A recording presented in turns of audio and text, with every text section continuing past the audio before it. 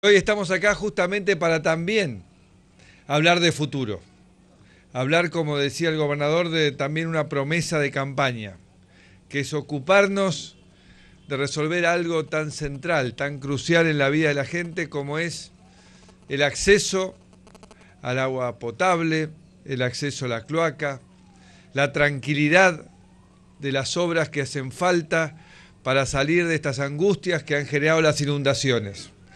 Yo creo que hay una enorme agenda por delante, una agenda que nos convoca, una agenda que tiene que ver con también encarar un tema de fondo que es la generación de empleo. Y en ese camino es que también se inscribe este programa, este Plan Nacional del Agua. Y estoy hablando de más de 200.000 puestos de trabajo. Estoy hablando de este colector pluvial Solano Vera, San Luis, que tanto le va a cambiar la vida a Yerbabuena.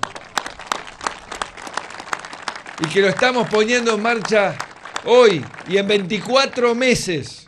Escuchen bien, en 24 meses los muchachos me prometieron que lo van a terminar.